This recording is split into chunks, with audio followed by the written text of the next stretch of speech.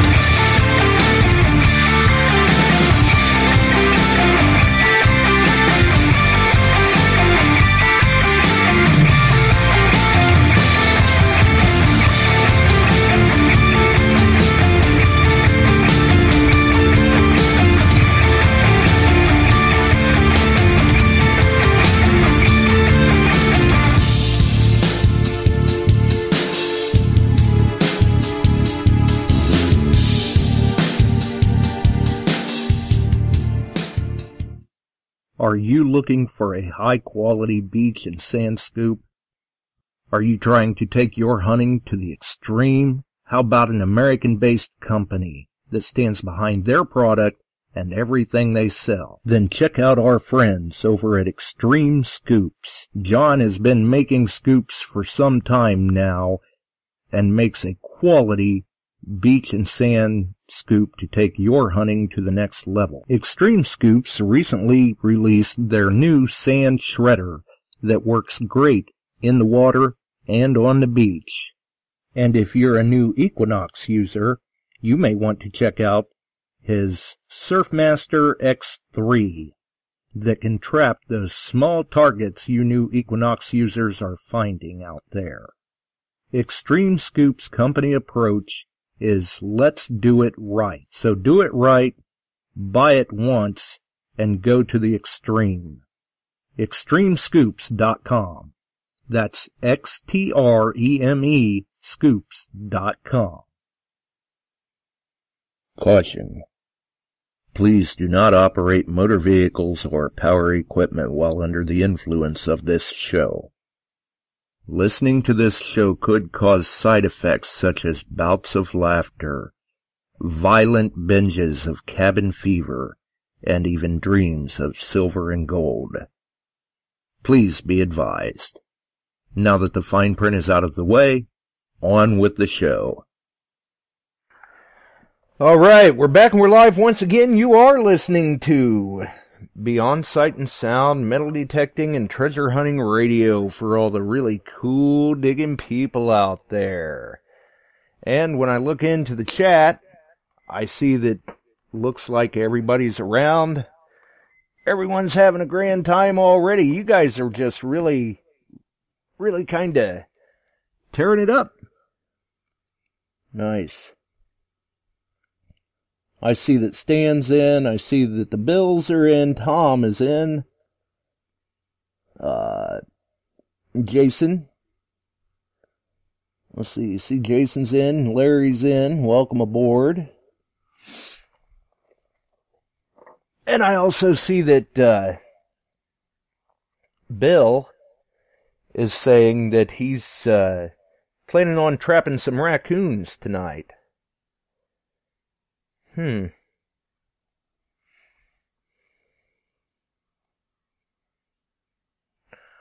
Well, I guess it is what it is. Uh, what's what's up with that, Bill? Are you uh, needing a couple of digging buddies or what? I see that Paul is also in, and uh, Mark as well. Nice.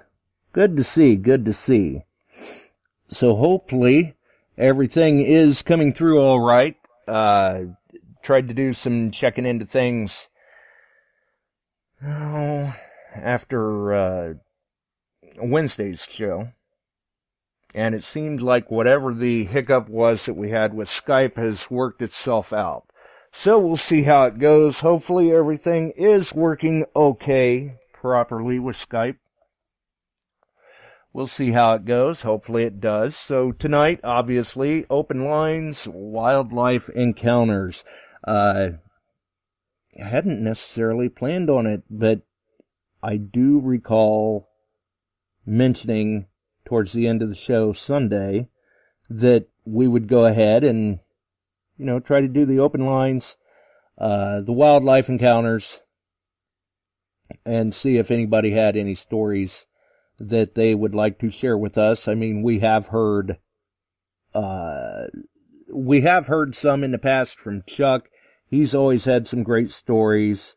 Uh, we've heard in the past from Steve as well that he's had a couple of great wildlife encounters.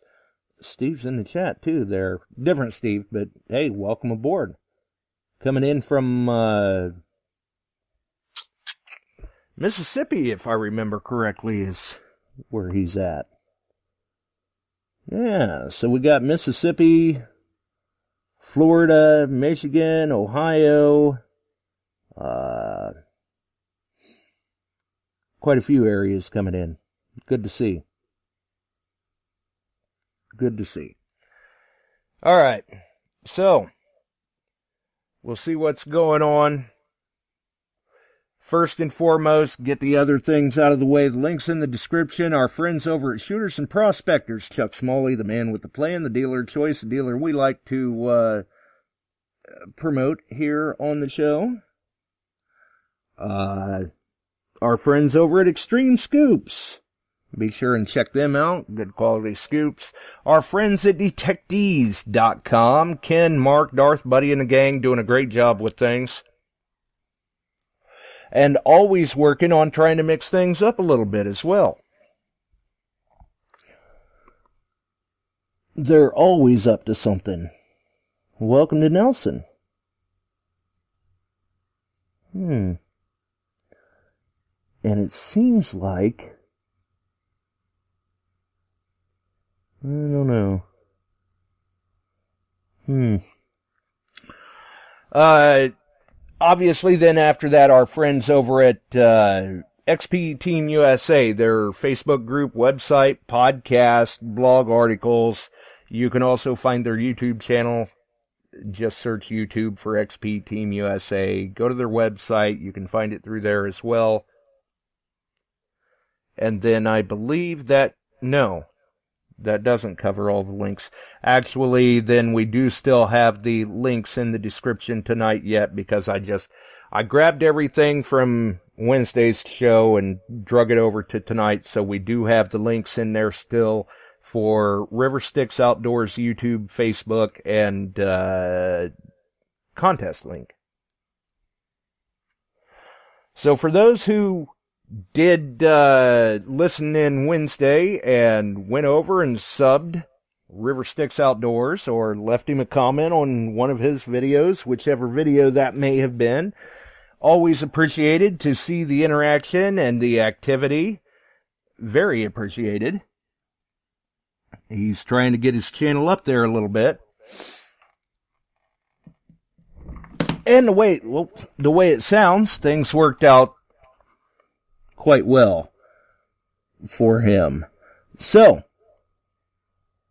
if you had uh, went over and subscribed, very much appreciated. And if you had went over and tried to enter the contest for the $100 gift card, all I can say is please, please watch the contest video and read the description. Just like we said before with the pulse dive, you know, everybody's got to follow the rules.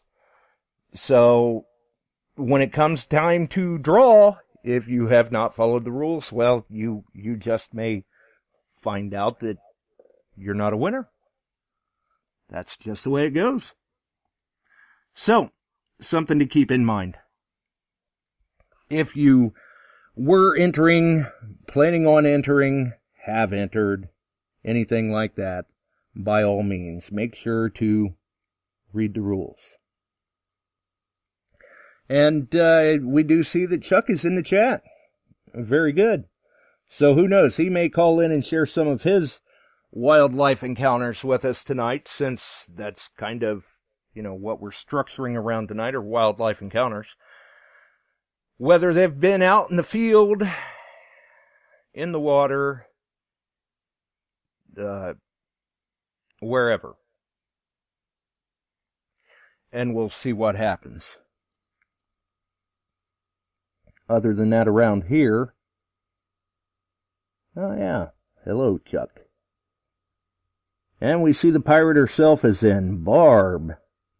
Which, actually, speaking of Barb,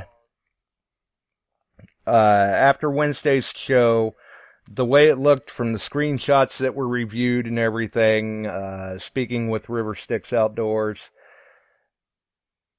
Barb was actually the first person to complete all three steps that I had mentioned on the show Wednesday. There were a lot of people that came in right behind her, but it looked like from the screenshots it was one of those deals where a number of people had went over to YouTube and she went over to Facebook first. Maybe a couple of other people went to Facebook first as well. But she was able to complete all three tasks that were mentioned on the show. So, Barb was the winner. And we, uh, we got her prize shipped out to her.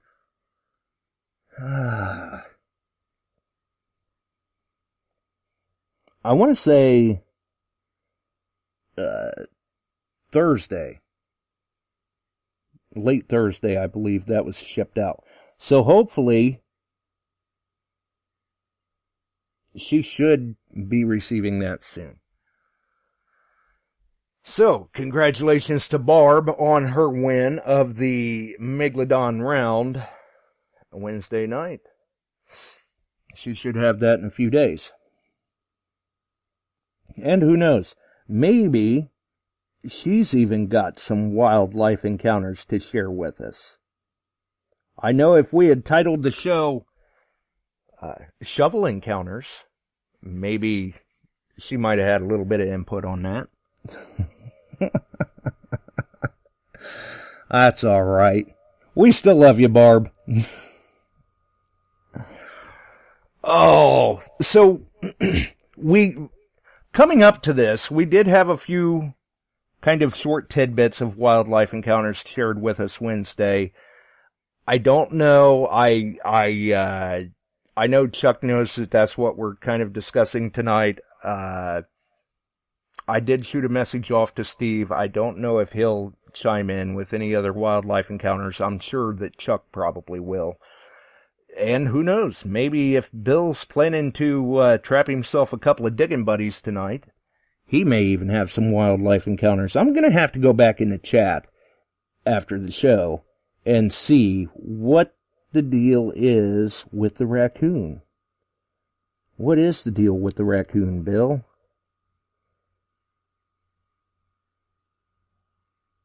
I'm not sure. Hmm. So we'll see. anyway, tonight we got a little bit of a late start, fashionably late, I guess you could say. I think when I looked at the screen, it was actually 8:03 when we went live instead of our traditional 8 o'clock. A little behind trying to take care of some very last minute things, and you could say we kind of we kind of went live in the dark, so to speak. We're we're kind of building the plane as we fly it right now. Had a little bit of a technical glitch come up here on my end at the very last minute, so we've tried to work around it. Hopefully, we've gotten around it. I don't know. I'm still picking up just uh, just a hair of an echo over here on my end hopefully that's not transmitting out to the listeners. We'll see. I don't know. Let me try something real quick.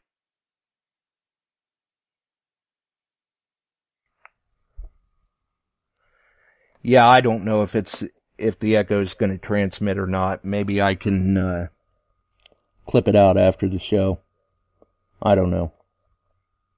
We'll see. So yeah, wasn't uh, planning on doing anything real extravagant. Make sure we got the Skype hiccup solved from Wednesday, and since I had mentioned wildlife encounters, uh, actually all of us had kind of mentioned it Wednesday. Figured, well, I think we did say we'd try to try to bring that up soon. So we figured we'd see what happens.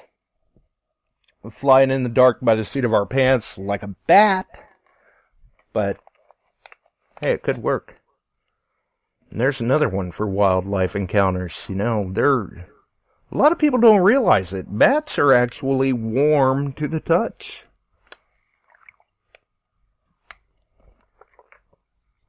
Of course, that's what you get for a winged rodent, right? Basically. Trying to recall, uh, last year, I think it was, maybe early last year, I believe, Bill had, well, let's see here. Yeah, speaking of detectives, they're in the house themselves already. And let's see here if I can pull them through. I don't know. I think I got him. Yeah, I got him. Yeah. It's working this time. Well, yeah. For now. Worked. for now. For now. It is. It is. For now. Have you been getting any digging in, Chuck? Yeah, I was out today. I got a nice silver thimble. I'm working on a spot that I've had permission on for quite some time, and I've hunted it quite a bit. But I, I, I do a little comparison hunting with the Nox and the Anfibio, and uh, then pull out the 30-30 and cover spots. And uh, there's not much left behind, but I got a nice silver thimble and a bunch of iron with that Equinox, and then uh, wheat pennies, deep wheats, and uh, but I pulled a lot of Indian heads out of here and a lot of uh, barber uh, V nickels, typical stuff, some rings. and I, well, I'll run up there today, and that's about 35 miles north of me. And uh, uh, it's changing hands. They're changing owners on it, so I thought I'd get one last shot up there. Right. Yeah. The the window of opportunity is getting short. Maybe. Right, and it's they've got where a house was tore down. They put a garage up, but the front yard of that house has produced many silvers, many many silvers, and that's where I got the the thimble too today. But it was a little rough. Now, just out of curiosity, oh, was it been up or anything? It just crushed in about halfway. Hmm. Some No. breaks around the edges. It was near the driveway area. Now, just out of curiosity, well, that would make sense, uh, being right there near the drive area, especially if it's a gravel drive, it could be beat up a little bit. But, uh, with you just finding that today, what sort of a signal did that give you on the Equinox? Well, I had iron all around it. I could hear Oh, yes, iron. it's jumping. and all I was getting was a squeak out of the middle of it, and I did get a 30. And I'm thinking, hmm, so I better dig this, and I it literally took one chunk, one nail out in the way, and there was the, when I pulled the nail up, I could see the silver. It was down about, hmm, seven, eight inches, and, uh, uh, there was the old thimble. Nice. So I cleaned Yeah. it up and put, rolled it out a little bit and gave it to Jill. Oh, I bet she likes that. Oh, she got a bunch of them. Nice. Yeah, I wasn't I wasn't sure if that would ring up uh, you know, right there maybe dime quarter range or a little lower since it was a thimble. Somewhere in that range. Yep, it was more quarterish, but it was just a brief. But it was consistent every angle I moved around it, so it had to be dug. Right, yeah. Yeah, absolutely. Uh kinda like with that little sterling infant's ring I hit the other day. right, and you can you can check it out on uh, my uh, Facebook page. I did a short live afterwards. I had phones going off and all kinds of stuff, but a little live with it. So yeah, it was fun. Nice. In- Well in amongst misty day here, it was kind of cool and drizzling all day till late in the afternoon. Yeah, we've had overcast. We've had we had downpours this morning. Then it went to kind of a soaking rain, and I think the rain's cleared up for the time being for us. We've got more coming in tomorrow, but it's still overcast and just the humidity is something fierce. Yeah. Well, we got a series of storms coming at us right now that popped up a little while ago and out toward Anamosa and that they had a tornado on the ground with it. So hopefully that's dying off a little bit. But now we got the black line coming at us, just a series of thunderstorms. Hopefully I don't get to go out and play in that, but uh, that's the way it is. I've noticed one thing, and I don't know if the rest of you with the high water around you, eh, the number of snakes that are out is phenomenal. You ran know, several. yeah, that would make sense because if the water's high, well, they're getting ran out of their homes, aren't they? Yes, they are. Yes, they are. You didn't run across any of them today, did you? Uh, no, not today. Yesterday, I had one make me do the two-step back till I figured out what it was. He come up over the riverbank and mm, they're cruising through the yard, and I generally won't bother them, especially Right. if they're ones I want around. You know, the bull snakes and the garter snakes and those. They're good to have. It's some of the other ones that you kind of raise an eyebrow at and go, eh, I don't know if I want you around or not. right. Yeah. Yeah, yeah. Some of them can prove to be a, a bit problematic, especially if they want to try to bite into you. Right. Right. So that that's been around other than all the typical critters that we got between the and that's forced out a lot of deer. I'm seeing a lot more deer in the urban areas because a lot of the lowlands and timbers are all flooded, so they moved up in there and so that makes it a little dicey driving and uh, that type of stuff. So Oh yeah, yeah. We seen uh, here the other night uh, a friend of Tam's. Their, I think their son was riding on the interstate with a motorcycle, and a deer hit him, or he hit the deer. mm, One, whichever way you want to call it, but it's not good on a motorcycle. no. Yeah, I I've been to several of those incidences that were bad for both the deer and the driver. Yeah, yeah, absolutely. I I think actually he's still in the hospital currently as we speak. So that one uh, that didn't pan out well for either of them. I'm I'm pretty safe to it's pretty safe to say it really didn't pan out well for the deer, and we're hoping that it pans out as good as can be for him.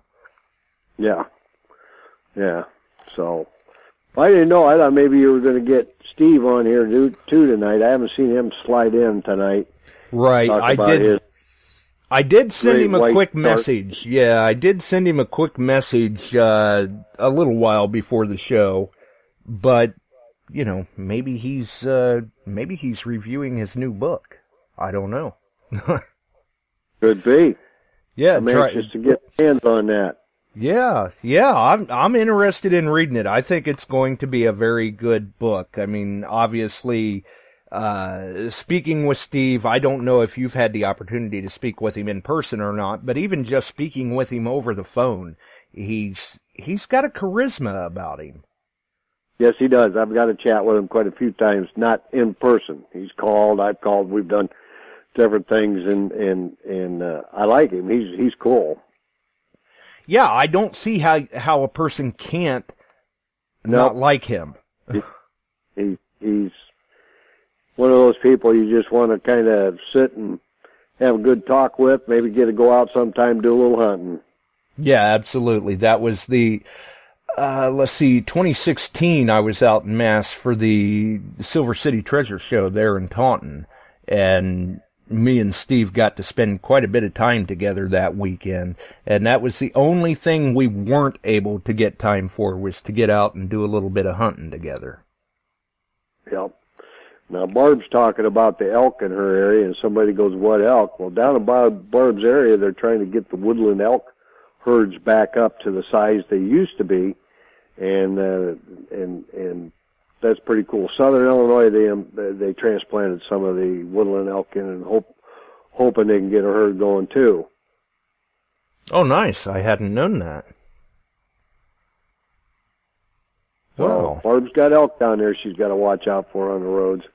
Right. Well, and she's got to watch for the snakes too. Uh, the snakes down there aren't so friendly.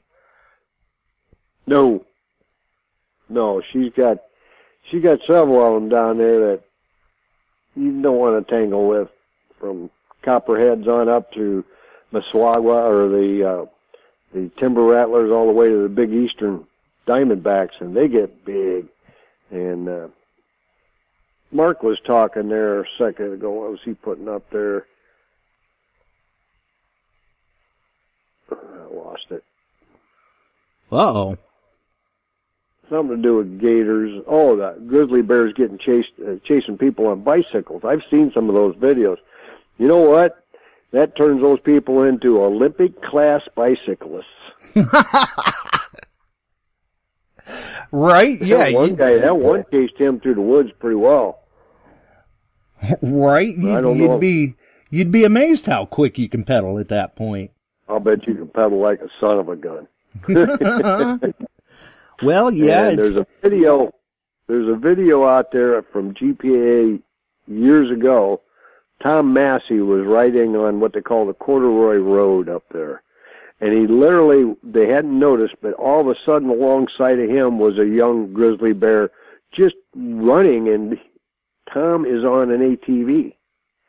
And so he speeds up and the bear speeds up. And literally they're side by side with about 15 yards between them. So Tom speeds up more and gets away. But that bear was pacing, they said, at about 38 mile an hour and didn't even look like it was winding him.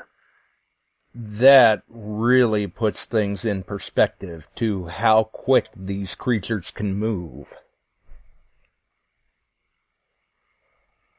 That's right. And, and you know, sometimes, sometimes things occur and if you're not aware of your surroundings, you're not paying attention, you get concentrating on one thing or another, especially detecting or uh, other various things that you're outside doing. Next thing you know, you got a situation at hand, and it's not good because something Right. come up on you and you didn't hear or notice it. Yeah, and like you said, it's it's not only just detecting. If I remember right, I think you had uh, shared a story of uh, years back. I think you were actually out game hunting when you uh, realized you had a number of wolves up on the ridge line watching you. Yes. Yes. And I mean, you get that feeling of being watched. And, and most all of us will have that happen one, one time or another, and it leaves you uneasy. And I just caught a movement above me out of the corner of my eye, and there's wolves. Oh, they were up that ridge line. They were probably 50, 60 yards just sitting and watching. And that unnerved me too. I mean, it's like, well, where did you come from and how long you been there? right, and how long do you plan on staying here? What are your intentions? Because I think mine are to leave. Well, you know, in, in, in it, it leaves you unnerved a little bit. And I'm sure there's others out there that have run into some problems. And, and, you know, down Mark talked about a little bit, the gators down there. You know, those guys like to work those water lines and, and things like that. And some of the interior, they just took a, one, yes, yes, excuse me. Hmm. Yes, I did. Anyway, Yeah, sometimes down there in Florida, especially in the areas where your visibility may not be so clear, uh, I don't know. I, I don't think I want to be jumping in there with any gators. Yeah, and it goes all the way from the largest down to the smallest things that we deal with, and and I, I ticks and and that kind of stuff, and being aware and doing things right to keep them off you as best as you can. That's a bad deal. That Lyme disease is a bad deal. Oh yeah, absolutely. And and the way it sounds, there's there's even you know, you can be as prepared as possible, and somehow, you know, one slips through the defenses, you let your guard down, whatever, and next thing you know, now you're you're stuck. You're dealing with it. Yes, and our Ohio Rally Counter Lyme and ticks suck. Yes, that's correct. Yeah, Bill Uh, knows. And Bill knows. And then Definitely. Mark's talking about the, it's not the ones you can see, it's the ones that you can't see that unnerve you, and you're right. And uh, it, it's some of it comes out funny, some of it's not so funny. Right. And uh, Some of it you find you can laugh about it later, and others maybe not so much. Yeah, there's a old narrow gauge railway that runs up out of Nome, Alaska, and it's no longer in service. It was they took them up, took the miners up to the gold fields every day and brought them back, and uh, they brought loads of ore back to be processed and things like that. And uh, if you can find those load points, those are good spots to nugget hunt. And I was working along the old rail bed, and in fact, they made the rail beds out of tailings. Oh, So those are good to hunt too. Right. So you hunt those rail beds, and I found some good gold along them. And I'm digging one day, and it was another deal where I stopped and just happened to look up, and at about 20 feet, I've got a big red fox just sitting there watching me, trying to figure out what I was doing. Where it came from, when it came in, I don't know, but it was like, oh, I'm not paying attention to what's going on here. Right. And he I just had got up company walked. sneak up. you know that that's the kind of stuff that it just happens and uh i wasn't worried about the fox bothering me he was probably trying to figure out what's that crazy guy digging for Right. But, Wondering uh, if you had some food for him or something.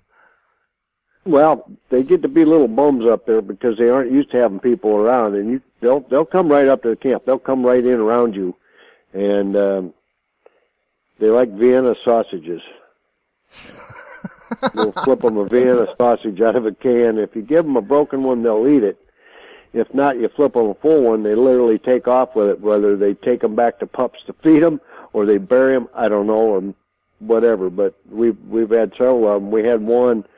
Uh, there was a, a place that we stayed way out, and we called it the Blue Room because it had a uh, you know that blue tarp. That's that's what it was. The roof was covered with a blue those blue tarps. And we were staying in a blue room for two weeks running a dredge camp. And uh we had a fox coming in and we'd flip her rods and in and she'd either eat it or take it back to her young ones. And she'd curl up and literally lay about 20 feet out from us. And we'd be talking. She just hung around.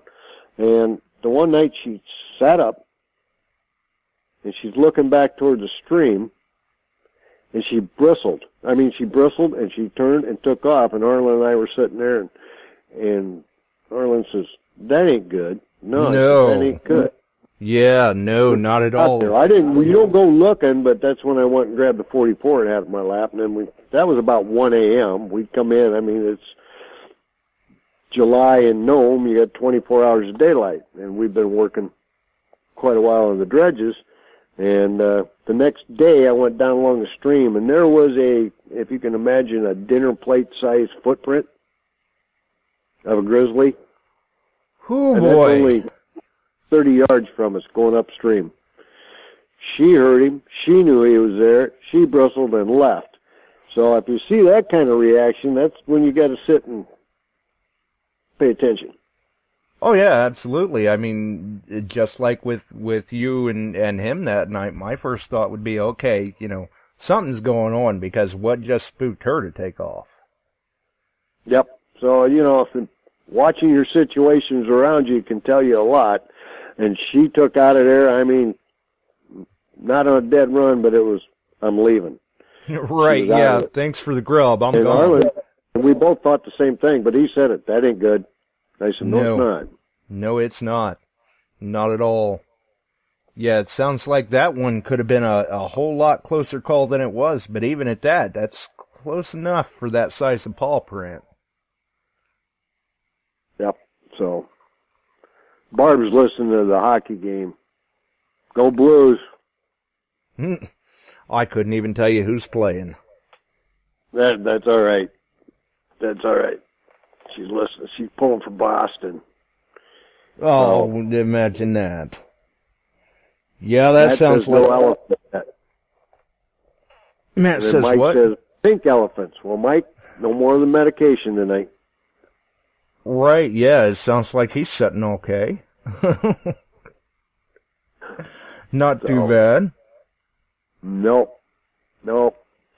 But you know that's the kind of stuff when you're out there, even even in a park.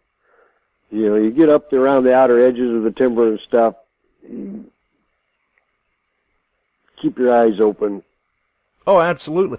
At, especially in Florida. I mean, some of these parks Oh aren't man, they're not fenced in or whatever, and you've got travelers, I guess They're- you could say, you know, coming in from out of the state, and they're going, "Oh, look, this looks like a nice place to get out and walk my little Pomeranian," not even realizing that you know you you're out there with an alligator Scooby snack. Well, there's a park. That, uh, it's outside. Orlando's got a lot of gators in those lakes. And we found that out a few years ago. I went down and I, I was at Kellyco for Minelab, and then actually that's when I went and and went to uh, the hunt down there with Mark and those guys. I actually went to one of their club meetings. Had a lot of fun with them. But we were at one park and we were talking with that park because they had closed metal detecting down, and we wanted to know what, why, and so on. They took us out, and one of the biggest things is they have sprinkler systems in all through there, and it's buried. And they were getting some of their lines cut because they're hitting the sprinkler head as a target, hitting it with the shovel and cutting the lines, and then they got to go in and repair those. Those units can cost by the time they pay the guy to repair them and the parts and pieces, it was 800 bucks a piece, but they were going to open up the non-sprinklered areas. But they had uh, fences all along the lake down below, and they showed me where a big gator had gotten over a six-foot fence into this wallow. And whether she was going to lay eggs there or what, but they just a couple days before we had gotten there, they had to shoot the gator and haul it out, and they had to use a, a loader. That gator was in the 800 to 850 pound range to get it in a truck to get it out of there. Wow. And that had made news all over down there. And, and uh, Jill wanted to do some kayaking, and the guy at the park said, "We used to rent kayaks here. No longer too many gators, and they follow kayaks." Wow. So that ended that story. Right. Yeah. Yeah, definitely. And and it's a good point you make too about the uh the sprinkler systems. I mean really uh, it's it's very costly. It's a very pricey repair for the park or or whatever other area that the the sprinkler system is in like that. And those things sound off so nice, but realistically for most of them, if you just take some time and work with the signal uh, you know, size your signal, you're going to pick up on that pipe, and, and you would think anyway, hey, this signal's running, you know, three and a half feet to the left. Don't bother digging it. Don't damage the uh, the irrigation, the the sprinkler system. That's right. But there have been a Uh, number know- of areas closed due to that. Yep, and and that's one of the biggest problems. Uh, and then I went down and talked to another county down there and sat with the county supervisor and the parks commissioner and the whole thing because they were closing down parks left and right down there. But it was not for that reason. It was just for a reason that there may be something archaeological there, and we are the keepers of this ground. And I said, yes, and I agree with you. You are that, but what site is so archaeologically sensitive you have to shut it down to everything? And we had a long conversation because I I sat on a park commission for quite a while and um, one of the one of the board and you know we left the park open except for one area where we have Indian mounds up on the top and uh, no digging was allowed up there and that's actually state and federal law, but we just shut that area off. But the rest of the area is still open, open to this day, for you to go out and detect because it dates back into the 1830s in a couple locations in there. And uh, I told them this, but you're you're the caretaker of that. Yep, and then you know if somebody's making a mess or problem, I hope they self-police it and most uh everything's went along real good through that but down there they just didn't want to believe that Right, yeah, some people they uh they just get in this mindset that it doesn't matter what the suggestion is, what the solution could be that you may have to present them with, it won't work. And they, they become very close-minded about it. And a, a lot of the times it is just something as simple as educating the uneducated. If, if Yep. we can explain to them what we do, how we do it, why we do it, but uh, sometimes it falls on deaf ears. Uh, you can explain it all you want till you're blue in the face, and they're still not going to change their perspective at all. But that's that's a good thing about like you know Central Florida Metal Detecting Club. They've they've gone a long way at uh, the the politics of things, so to speak, in trying to get some of those areas opened back up for hunters. Yep. I hope I hope they can win the good fight. We've done it in a couple other areas down in Carthage. We opened, kept it open down there, and a couple here throughout Illinois. But you can't get the uh, couple of them all. They they won't do it. Especially ones in Chicago over in the uh, uh, forestry area. They closed all that down because guys were going in and literally tearing it up. And how do you how do you get them to open it back up? That's parts of that are closed. That's a shame. Yeah, And, there uh, there were a lot of people making some good finds out of those areas too. Oh yeah. Yes, they were. But you So, can forget about getting talking in there about now. getting.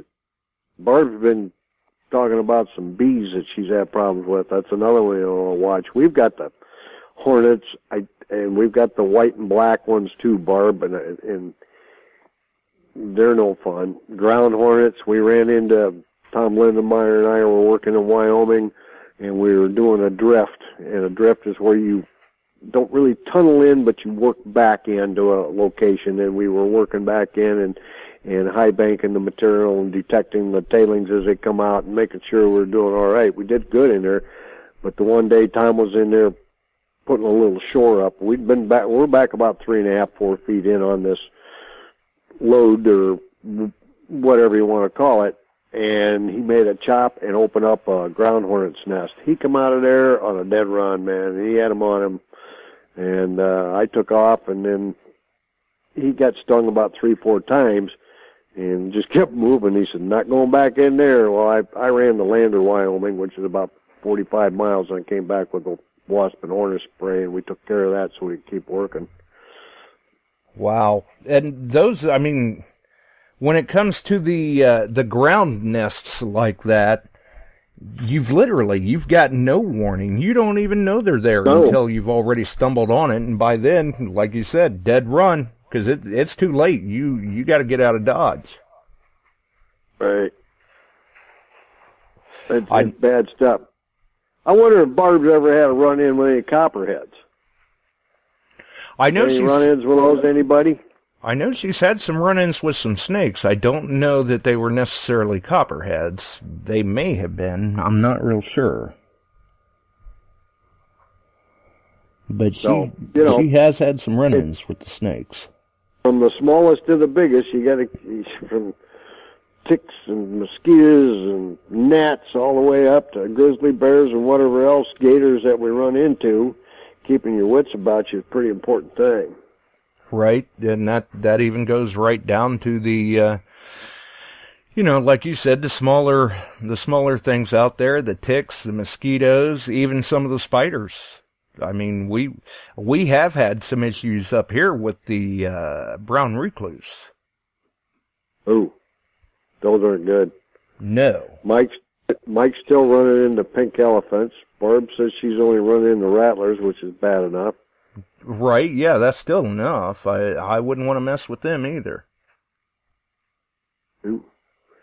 So you know all that kind of stuff, and and, and then then you got to kick in if you're having a problem with them. I saw a picture today of a guy that got bit. It was on Facebook. I don't know if he's a detectorist or what, showing his forefinger that got bit by what he called a baby rattler, and that was, nasty looking, black and swollen.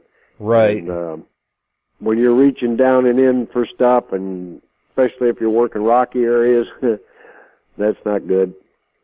No, uh-uh. Yeah, and and when it comes to like the rattlers, I think I'd I'd just as soon deal with a mature one rather than a young one. I don't want to deal with them at all. Well, yeah, but I mean the young ones they haven't they haven't learned how to regulate that venom yet. So if they bite you, you're liable to get a full dump. Yeah. Digger Stan on here says a a recluse bit him and he almost lost his thumb. That's some nasty stuff. Yeah, such a little bitty thing, but they can wreak all sorts of havoc, just like the ticks. Yeah. Them things, they're they're no good at all. I ain't I ain't got much use for them in my book at, at all. Be careful, Matt, if you got to go for a fire call. I'm just watching the board. here. Right. Well, and Matt, I don't know. The last I heard, things were pretty hot for down there in his area, so he hadn't been out hunting. But uh, I'm not sure if he had tuned in Wednesday or not. I know you had heard it when when Steve had mentioned. Apparently, up north of you know Matt's area, because I think Matt's down in actually in South Carolina, and I believe Steve said North Carolina. Uh, some some teenager had lost their leg from a shark. Ooh, Yeah, so I guess they're running pretty good. good. That's not good at all. no. So critters, critters in the outdoors, you got to keep your wits about you and around you. And uh, I mean, one of the funniest ones that happened to me was a seal that came up behind me, and I didn't even know he was there. And we were fishing on where the Arctic Creek meets the Bering Sea, and we were fresh run salmon for dinner that night. We're gonna pick up some salmon for supper, and I had a fish on, and literally not five, six, seven feet behind me, I've got a huge seal. and I turned around and he made a noise and I like to almost jumped in the creek because it was like, oh my God, where did you come from? And the other guys on the other side knew he was there. Also, they're And they're off in They the told distance me later pointing. they had said nothing because he he just comes wandering up there. He's a bum. He's he been coming the whole time. They you know and they'll flip him a fish. And he wanted my fish. Right, so they figured, well, we ain't gonna give Chuck a heads up. We'll get a kick out of his No. reaction.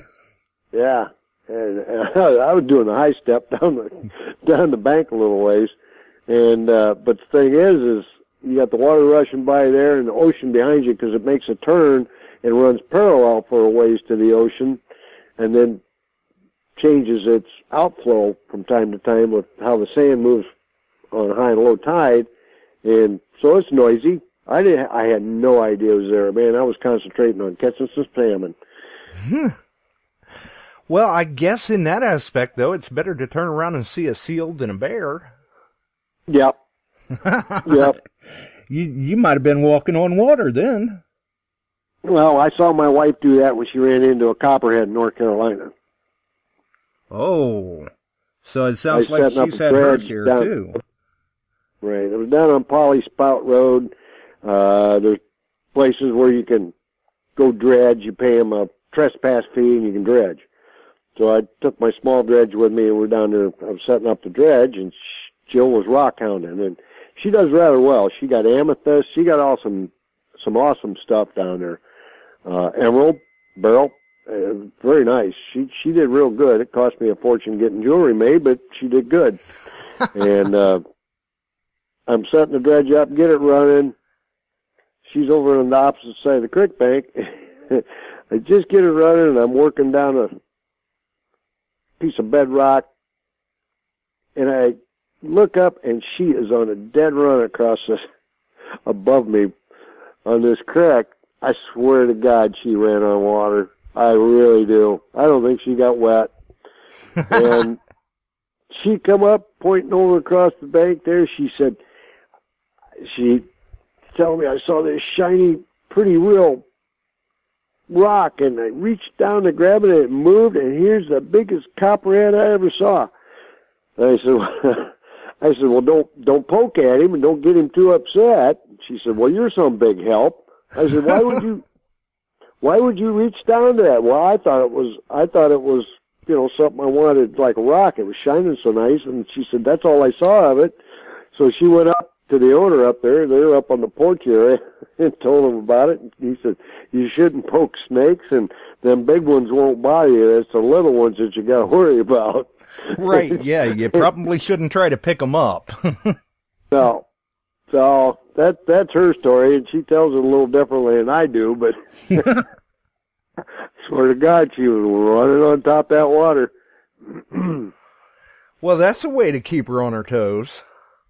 oh man, I heard about that for a long time. Right, yeah. The the way it sounds, I bet she wasn't real happy with any of the advice you had to give her that day. And two old boys up on the porch didn't help either. no, no, I'm I'm sure that's just insult to injury, so to speak. And she's going, "Oh yeah, fine help you two are as well."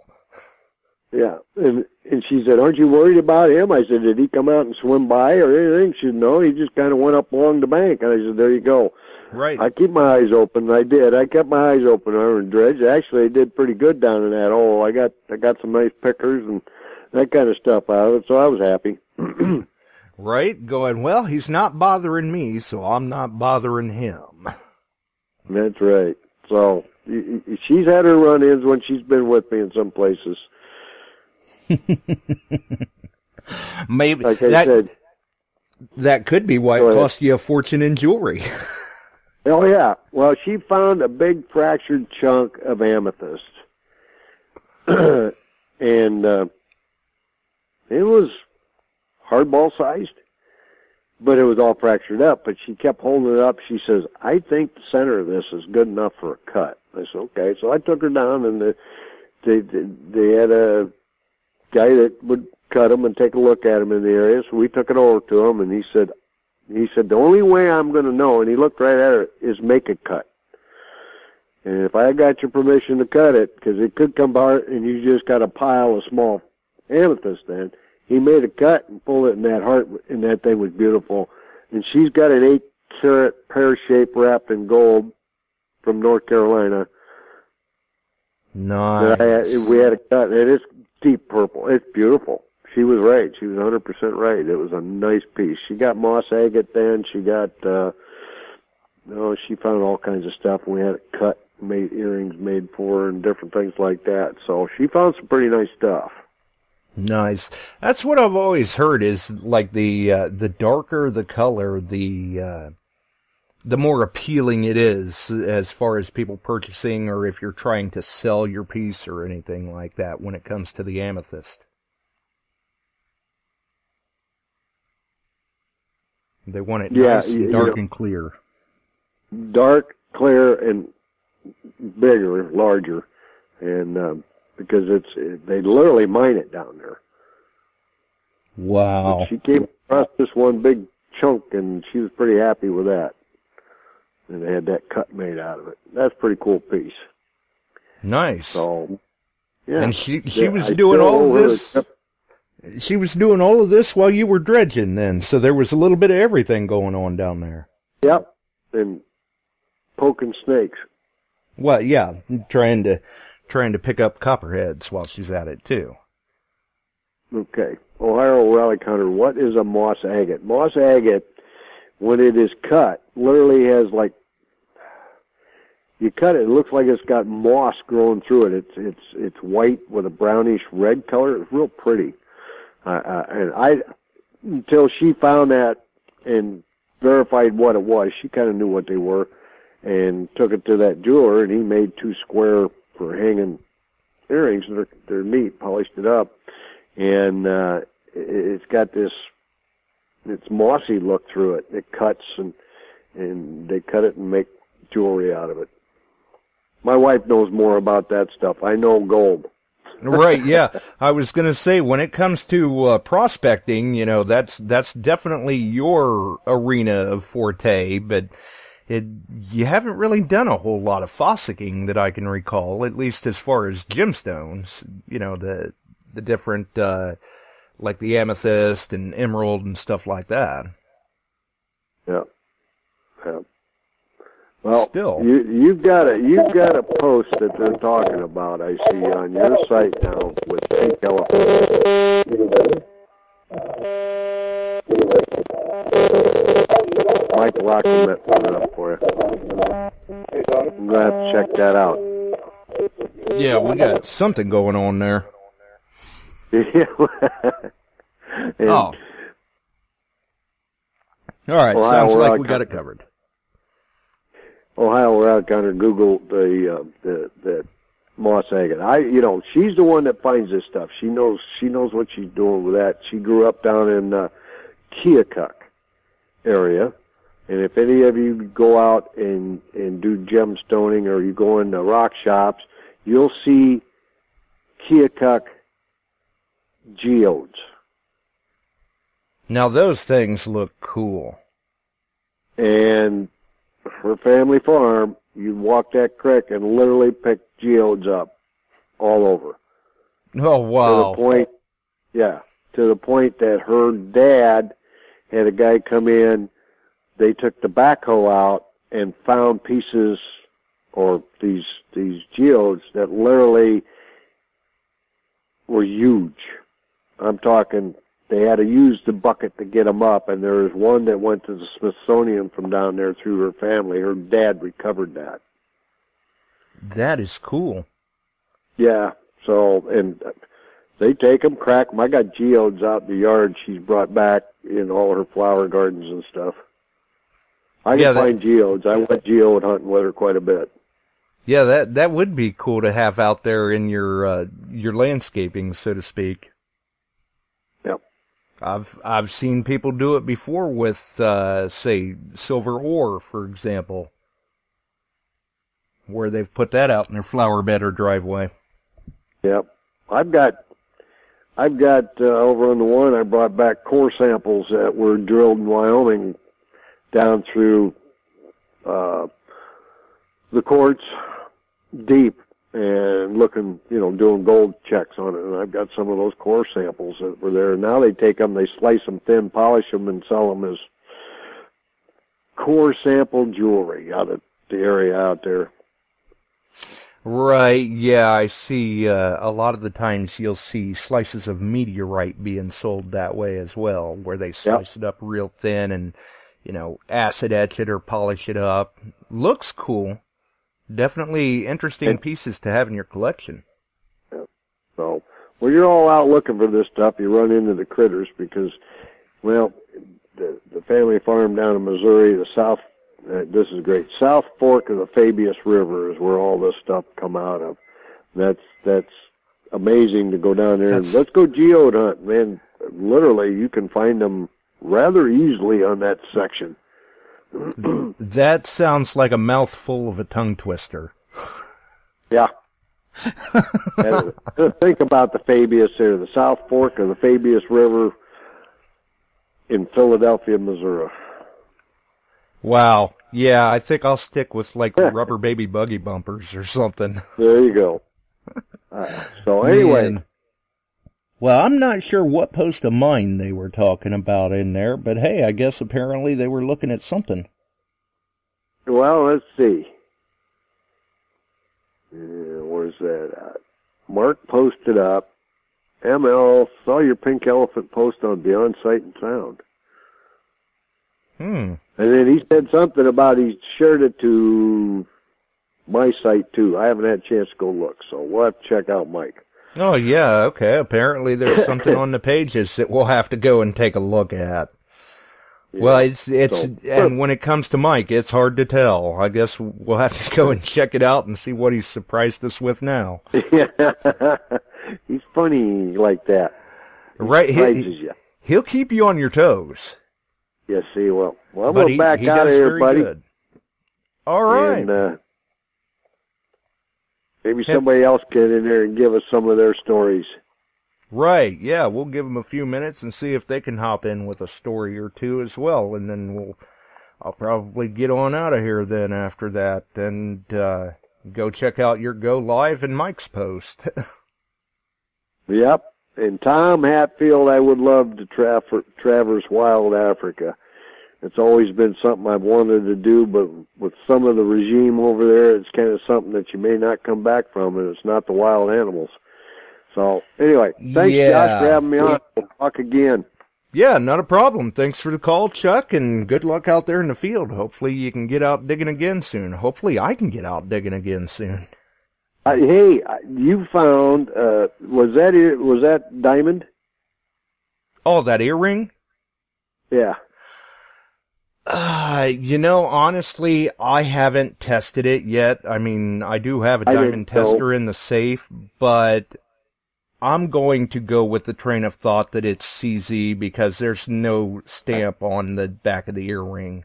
And I, Oh, I would think maybe I would be led to believe it could be diamond had it been stamped with, you know, 10k or something, but I, sure they put they put diamonds in silver too, but I really don't see them putting them, you know, putting money into a stone to put it on a junk piece of metal. right. Stranger I things have curious, happened. Though. what which detector were you using? The Equinox 800 with the uh, with the Minelab Pro-Find 35 pen pointer. I had won that. I uh, saw that. I won that pen pointer last week, and I thought, hey, you know, I I've heard from Jesse and Chuck and and a few other people that they really seem to like that pen pointer. So I'm looking forward to getting this thing out in the field and trying it out. And uh, yeah, I the first target out, I hit that infant's ring, which is a really really small ring. I can't even get that past my my pinky fingernail. Really? That thing's so small when I I assumed it was just a piece of bling. But then when we got it home and cleaned it up, Tam said that it was stamped in the band and and I'm like, "Well, what did it say? 925 or STER or what?" And she says it said Sterling. I said, "That band ain't big enough to say Sterling." she says, "Yeah, it it takes the whole band, but it it is stamped Sterling." Wow. and it's uh Very cool. It's strikingly for for me anyway i don't know maybe some other people have a different opinion but for me it looks very strikingly similar to native american jewelry so Excuse me. Uh, Hey, hey, you ought to ask Mark. I saw some pictures.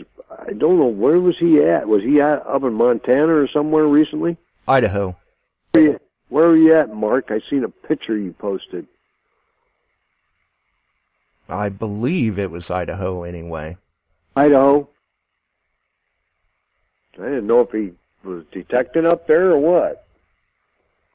well if if you saw the same picture i saw i would say he was detecting because it looked like he had his uh Oh, Yeah. who makes that? The Buzz Wilson sheath, I think, is what it is. And he had his knee pads on, so I'm assuming they must have been out hunting him and and the other gentleman in the Post photo. calendar or something. That's a good question. I'm not real sure. You know, whether he was out for Gold Ore or Ghost Town. Right. Old Placer. He was And- doing an old Gold Town. And I guess, uh, and and you can probably chime in on that as well. For people that are getting a little heavy with their discrimination on the Equinox, probably not a real good idea because that, I mean, it had no problem finding that earring, but it was just solid tone. Uh, I think it was ringing up low like a eight on the Equinox. Mhm. Yep. You want a six and eight and ten. You want to dig those. You're gonna you're gonna find that some of that's gonna be pretty good stuff. Absolutely. Yeah, it had me digging bits of foil for about 30 minutes after that to see if I could find its friend, but uh, at least I got the earring. But no, it, the earring's not stamped with any sort of mark, so I'm going to assume that it's probably just CZ. But still, to find a small earring like that, I was pretty tickled. And it followed Yeah, up nicely with that uh, that infant's ring that I had found a, a little while before that, and then I also came up with a, uh championship cross and country medal too out there. I saw that. That one Did kind you of that one kind of baffles me a little bit because on the back it says uh, 94 WBL champs. So you would think that that would be simple enough to track down because, you know, for, for somebody to win, somebody's got to lose. There couldn't have been that many winners. But we're talking about a medal that was awarded 24 years ago Wow. and I didn't dig for that. I mean, it was a screaming signal. I thought it sounded like it was on top of the ground. I brushed the grass aside and it's laying there face down. So it was probably a recent loss. Or, I don't know, maybe the tornado picked it up and threw it over there for some reason. But, uh, definitely an interesting find. Mark, you should call in. I got questions for you. Why weren't you looking for gold? Guys were out detecting for gold. Maybe you were. You got it. You got an 800. Right. It would have found it if it was there. It does pretty good. It does pretty good. It's no, it's no PI unit or anything like that, but they do pretty well. No, but there again, for for a detector in that price point range, that is a very well-rounded, good performing machine. Yes, and very, it is.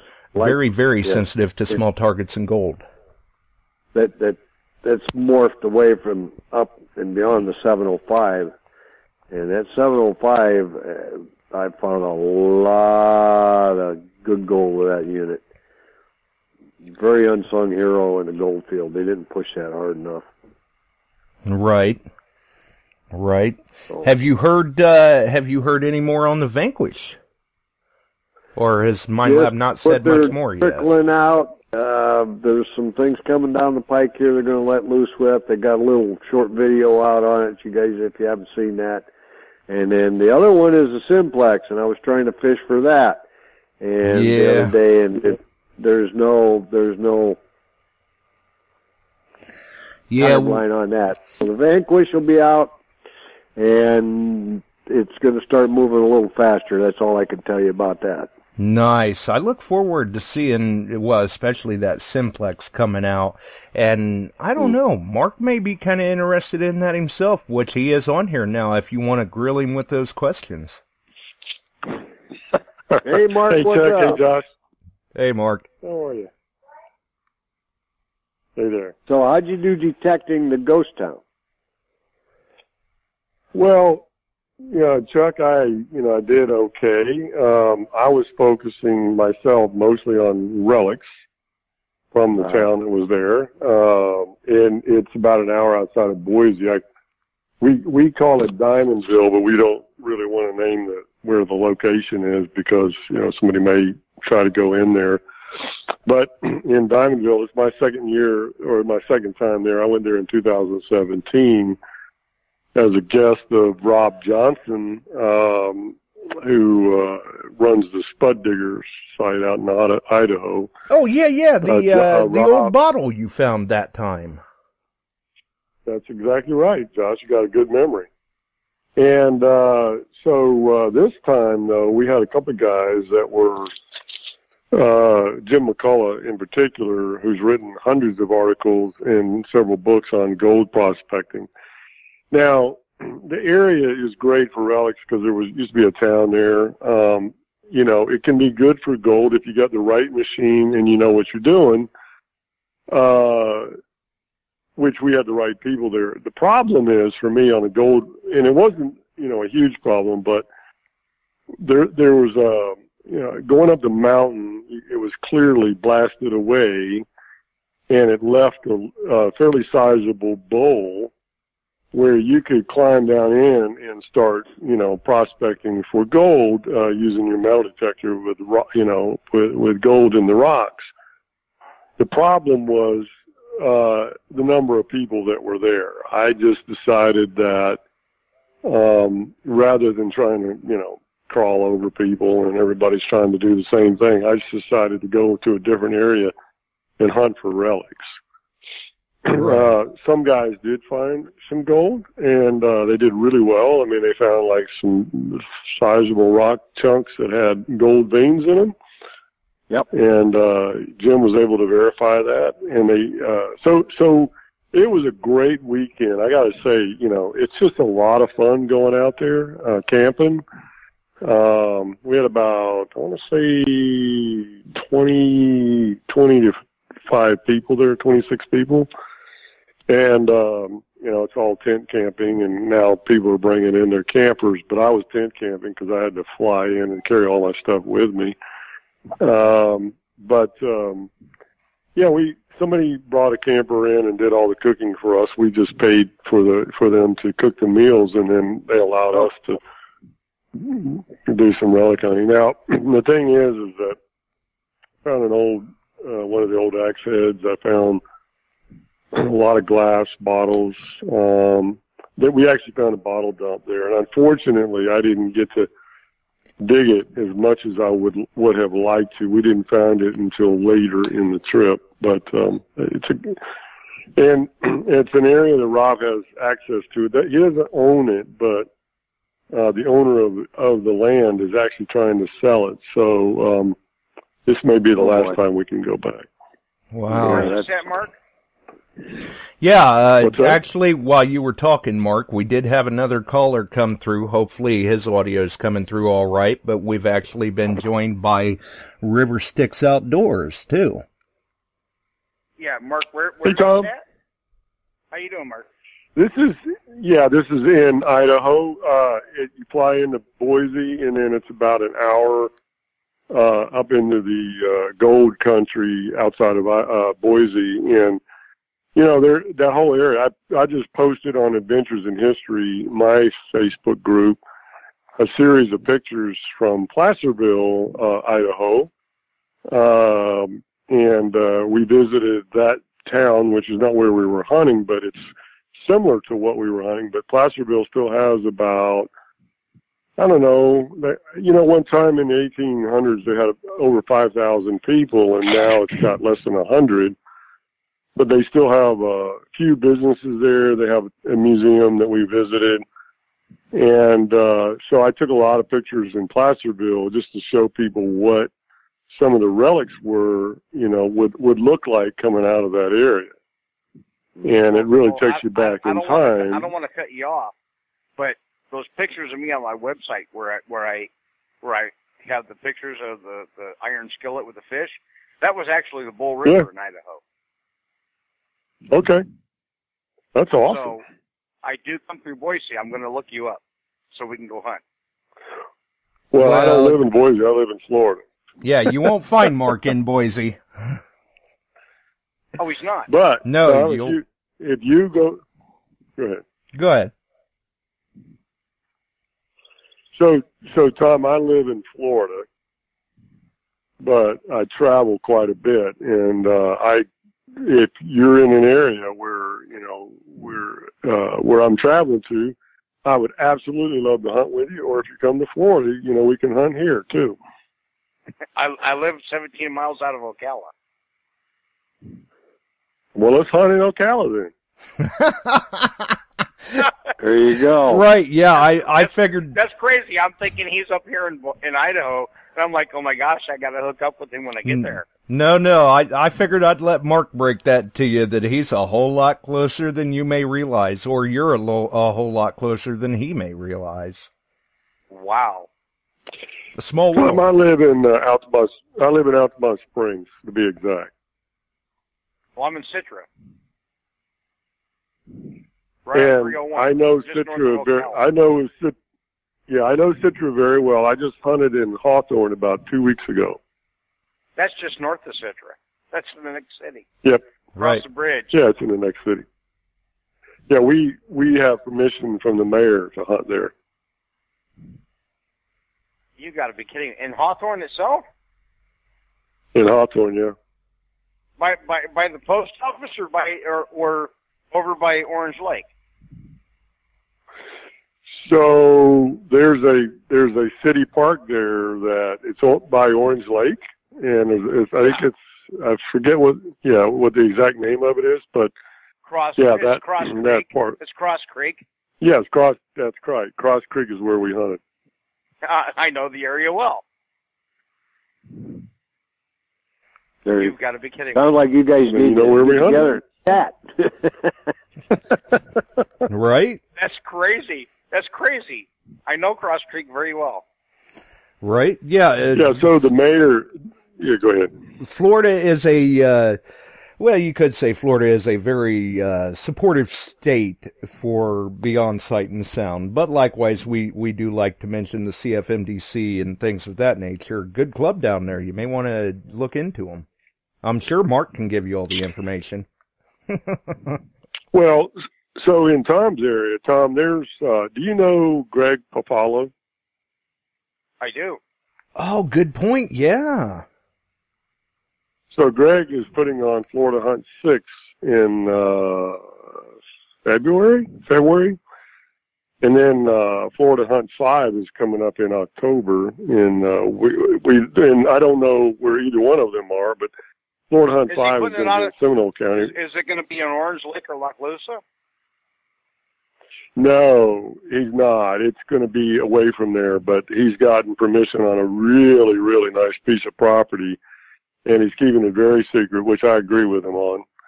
And uh, there, there's a there's a group page now called Florida Hunt Six. Go look for it. You can sign up there. Uh, he's still taking sign-ups there, and it's going to be. Uh, I forget the exact amount. I want to say he's going to charge like thirty dollars per person, and that's going to go towards a particular charity that actually owns the property that's never been hunted before, and it goes back to the 1800s. We're, we're not talking about Marjorie's. Well, we're not talking about anything that I'm even aware of. I just know that he's going to do it. I don't know where it is. Yeah. Craig hasn't uh, let the location out yet. Well, you know, you know, right there in Cross Creek is Marjorie Kinnan Rawlings. If anybody ever saw the movie Right, with that's- Gregory Peck, that was Cross Creek. That, yeah, that's across the street. Isn't isn't there like a place across the street from Cross Creek, Marjorie?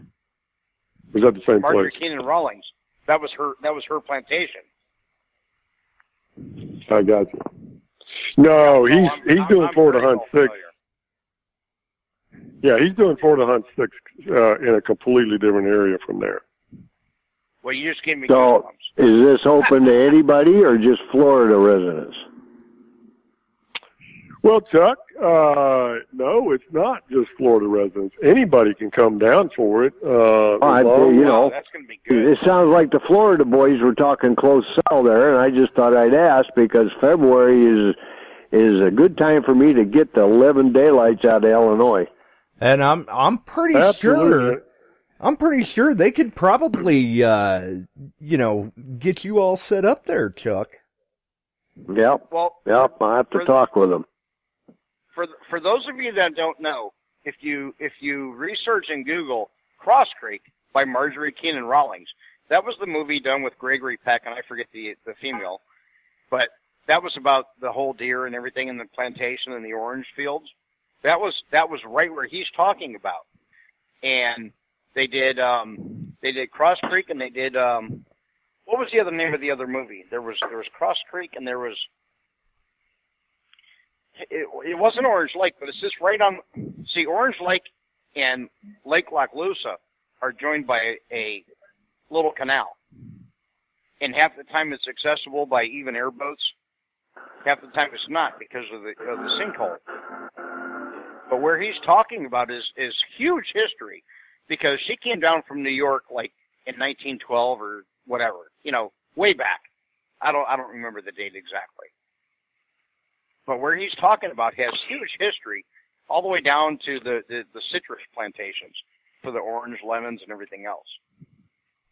Yeah, Oh, wow. there there was actually a bot there was a botanist and I just don't remember his name off the top of my head, but he came down uh from New England and went all the way through Florida and did a lot of research and, here. and so did Marjorie. So did Marjorie. She has a house there. It's a museum now. Well, we went into a museum and I don't I don't know if that was her house, but we went into a museum right there in Hawthorne where we did a lot of the uh Friday night meet and greet and uh did a did a lot of the, you know, talking to the museum curator there. That that, that And was then Marjorie when- Kinnan Rawlings' house. That That's the only House, museum okay. in Hawthorne. Uh, it's good to know. I I didn't put that together maybe at the time, but the next day when we hunted, and it was called Florida Hunt Four. Uh, we we actually found several home sites that were no longer there, and one of the uh, one of the detectors that was there, Brian Robinson, found a trigger guard uh, that had RI stamped on it. When they did the research, they figured out that RI was from a Rhode Island factory in a date. That particular trigger guard came off of a rifle from the British militia, and 2,000 of those rifles were manufactured in 1776. Wow. And, and when Mar- and when Marjorie Kinnan Rawlings moved down from New York, she came with the the well, I don't want to call it troops per se, but the militia Wow. Right. because of the natives and the Indians. And she set up her and she set up her plantation, and she had the orange plantation. For anybody that's interested in looking this up, look up um, Cross Creek or the Yearling. Remember the Yearling? That was that was the book Right, that yeah, Marjorie that's right. Rollins wrote. She wrote the Yearling Right. with Gregory Peck. That's exactly where he's talking about. That's four miles from my house. Nice. Really? Yes. Well, right- uh, right. Bill B- Bill Marsh just posted in. That was William Bartram, who was the botanist that came down and Exactly right. and went all through there. Florida. Yep. And uh, so anyway, we we uh, so I it's not like I come up there all the time, but we had Florida Hunt Four there, and then a few weeks ago we came back. We were we uh, worked with Greg to go back there with a small, just a small group. Now I will tell you this. Um, I'm a little disappointed because it's pretty obvious that people have been going in there and hunting it, and maybe hunting it without permission because we did find I would say quite a number of holes that were not filled in that park when we went back. So we were not only hunting and detecting, but we were also trying to fill holes and and uh, you know kind of clean it up a little bit. Well, there's actually. You, did, did you see the Yearling restaurant right there, right at the bridge, exactly where the creek is? I did not. I I if I did, I didn't notice it.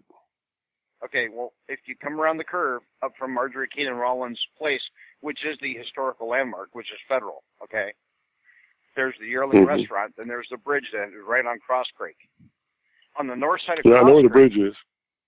Okay, Yeah. okay. Well, on the north side of that is Gary Palmetter. That's a personal friend of mine. He owns all that land on the north side of the creek there. So, Well, let's go uh, hunt. Well, I can get in. I can get in the Right. charities. I guarantee you where nobody else can. Oh, that's awesome. Well, you know, that's that's great. Well, um, so yeah, I hunted in Idaho, and then I came back and back to Florida. But um, you know, obviously, as you know, we have tremendous history here in Florida. Um, you just have to do the research and find the right people. And um, and uh, I was very thankful to Greg because Greg was the one who got us the permission, and and we went over there to the went over there to the park. Nice. Well, I I don't know Greg personally. When you asked me, did I know the name? I said yes, I do. I know the name very well. I've seen it on on on the, the different forums. But Well, they have a they have a club. The closest. I'm sorry. Go ahead. No, I, I was just going to say to go further than that. You know, I, I have to get contact info. Same as you. Yeah. So they have Greg. Greg is uh, the president of the Gainesville Club, which is probably the closest club to you. And uh, you you you definitely. I mean, what I'll do is uh, I'll figure out a way on uh, Facebook to you know give send you guys a joint message and do an introduction because you're definitely going to want to be a part of Florida Hunt Six. And for anybody else that's listening, it's not just for Florida. And I will. I noticed that somebody said they couldn't find it. It may be. Uh, It may be a it may close not group. be easily found. Yeah, I'll Secret find it and I'll post it in here. Yeah, exactly. It's probably a secret group by now. You'll have Yeah. to be invited, so I'll send you an invitation to it.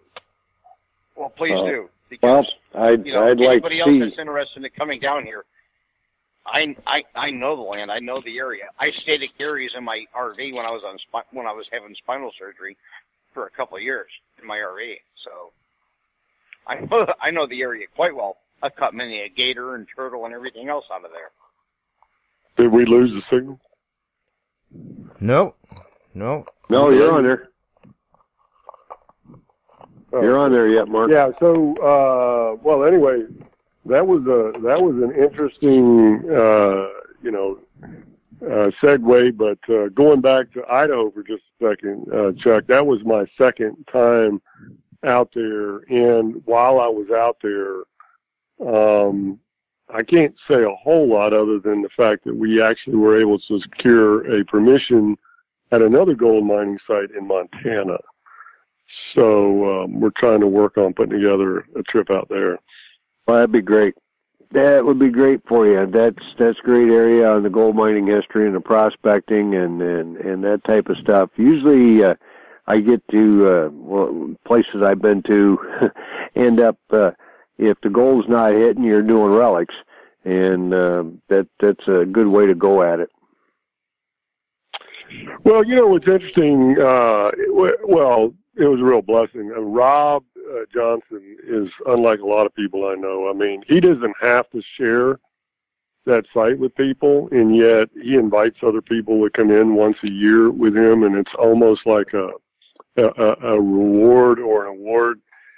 Uh, they go around to some of the um, clubs in that area, and they'll they'll offer um, a couple of you know free trips to the site with the group, and so they give them away. They they win them at the club.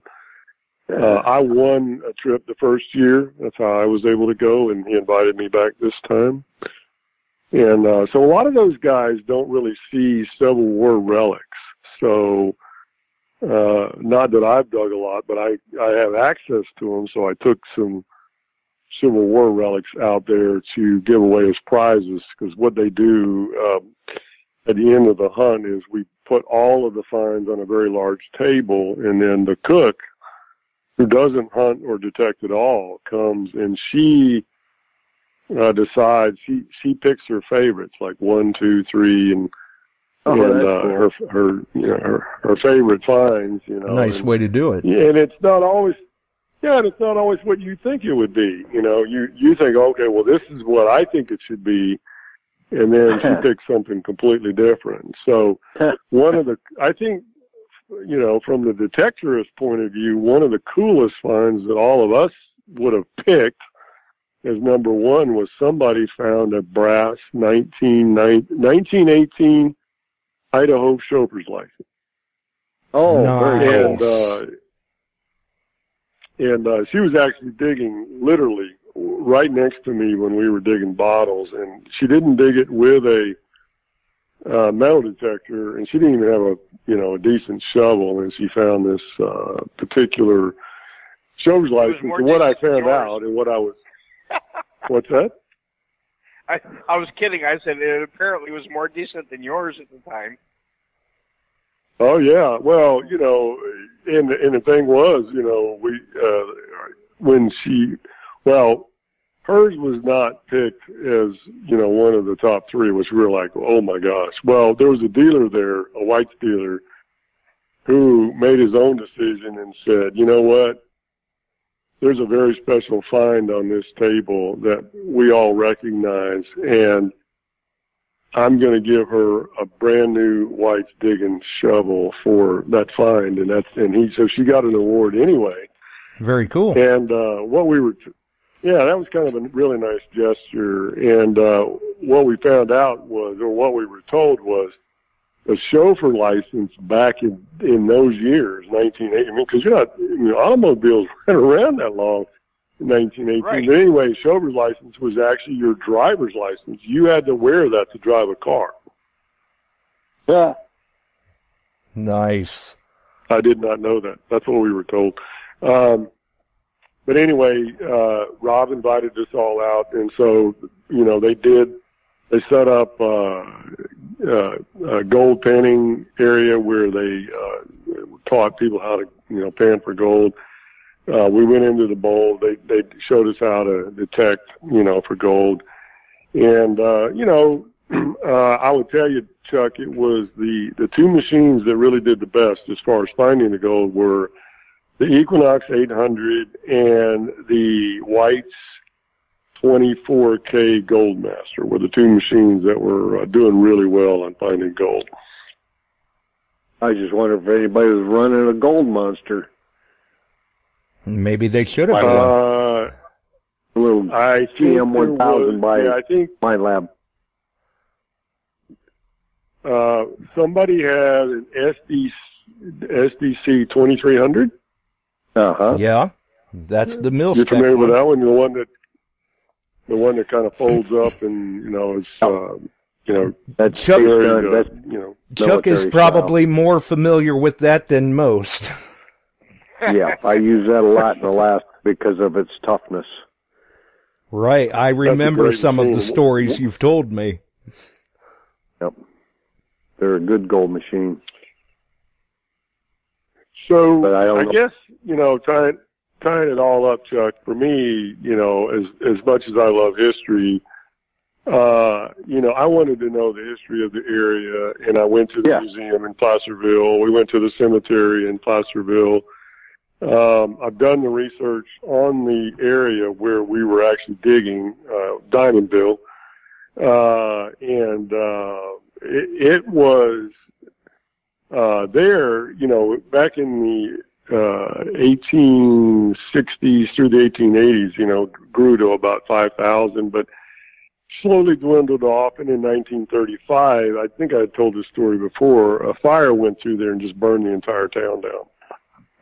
And they tried to revive it. They never really could. And so we we found a lot of melted glass and broken glass and things like that. Mhm. So to find any single whole bottle that hadn't been broken or burned or melted uh, Tough. was, was pretty, uh, yeah, it was pretty hard to do. That's why when I found that bottle the last time, uh, I was really thrilled to be able to do that. This time, though, we did find a bottle dump uh, higher up on a ridge that apparently wasn't affected by the fire. So uh, they're going to be pulling out a lot of bottles over there in the next year.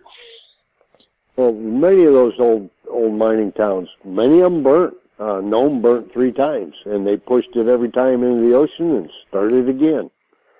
Uh, Right. they- Deadwood had a. They, they've all had some sort of a fire. They were they were quickly put up and light lumber and and that kind of stuff. And the the brick and mortar ones that did go up generally survived, uh, not always. And uh, you will find a lot of burnt and, and, and South Dakota. I did a lot of detecting in Deadwood early on, and that was one of my favorite favorite places to go because you could de- at that time they pretty much let you detect anywhere and you could find things. And I have two tokens, and the one it just says number ten on it, and I didn't think much about it until I showed it to a token de- that, guy up here, Gary Cusell's his name in Minnesota. He collects tokens, big into it. And he likes to trade and he goes what do you want for that? And i said i know what that is but it took me a while to find out. Um bill hickok when he came into deadwood and and he he spent a lot of time in the number 10 because basically they paid him to be there. Ah, nice. he was a big draw and the number 10 had tokens made up that they gave to Hickok to hand out to come in for a drink. And if you had the number 10 token, you got a drink and then they give them back to Hickok and he'd hand them out to pack people in the drink and take on other persuasions that were upstairs. And they're rare, they're hard to find, and I didn't know it at the time. And I have one that I recovered in Deadwood, and uh, that was one of my favorite finds. They're so rare that uh, they're quite valuable and they have to be verified. And I sent it to PCGS and it got verified. Nice. Good So job. that kind Yeah, of that is nice. Yep, and he's the guy that handed them out. They they I, and they they don't know the number that was ever made. There's no track of mintage on it. Yeah, but still, that's cool to have a token that you you know was essentially handed out by Bill Hickok. Yeah, that is pretty cool. That's that's the history. amazing. There was a very notable Western figure that moved to Nome, and they had their own bar there, and they made a lot of money and left Nome. That was Wyatt Earp. Right? Wyatt uh, Earp went up to know? So, so Yeah. Josh, who was I talking to this whole time? Was that Ohio Ohio Relic Hunter? On the phone? No, that's Mark Hoover. That was Mark Hoover. Okay, Mm-hmm. Yeah. I just want to get my ducks in So- a row. Tom, I'll send you a message, and I'll send you a link to uh, Florida Hunt Six, and I'll Well, do the same. Josh has all and my info. Okay. All right. And, uh, include me I'm- on I'm- that I'm- link I'm too, will you to there, Mark, you, on uh, because- the number six hunt? That sounds interesting. Uh, yeah, Florida Hunt Six. I'll do that, Chuck. I'll send Yeah. that link too. Yeah, heck, Well, might, like like might as well just I go said, ahead I'm, and I'm excited to hunt with you because I think we can Bert that probably won't be allowed otherwise. might as well go ahead and throw me in that communication too. Who knows? Maybe uh maybe Chuck and I'll just pack up the equinoxes and head south. Come on, you you come on down. Yeah, and and Mark, you know there is a open slot for you to go to Nome with me next year. Yeah, let's. Yeah, we we, we definitely need to chat about that. So uh, let's talk about that next week. Yep, Right. we will. All right. Well, I Anyway, guess- I- All right, yeah, time to back out of here. right. All right. Thanks for the call, Chuck. All righty, gentlemen, it was a pleasure. Thanks for calling in, and and you Florida boys need to get together and keep me posted. Yes, right. Sir. Absolutely. All right, have a All right, great I'm night. gonna all. back out too, and thanks, Chuck, and I'll talk to you later. And uh, Tom, it was a pleasure. I look forward to chatting with you soon, and uh, I'll send you all I'm, my I'm information sure we'll as see, well. I'm sure we'll see each other. I'm sure we will. Oh, Tom, I'd like to get down Thanks a and meet you. Take care. You too, Bye bye. Chuck. Absolutely. All right. All right. Thanks for the call, Mark. Thanks again, Chuck. All right. Good night, Josh. Good night, Tom. Good night. Man, it was- we're that- getting that kind of a cool. full house had- tonight. But I had no idea this was going on right down the street from my house. Yeah, right. Yeah, that's That that's was the really, that was really cool. well, and and this was previous hunts, but still, Yeah. you never. Yeah, but it's about a hunt also coming up, and and I and I know Gary on the north side of the road. He won't let anybody in, but I know him personally. I know him, his daughter, his wife. You know what I mean? I know right, family. right, right. So Well- hopefully I can take these guys in on somewhere else. Right? Yeah, you never know. Definitely, definitely never I mean, it's just it's just a couple of acres, but a couple acres can mean a lot. Right. Yeah, you never know. Certainly never know.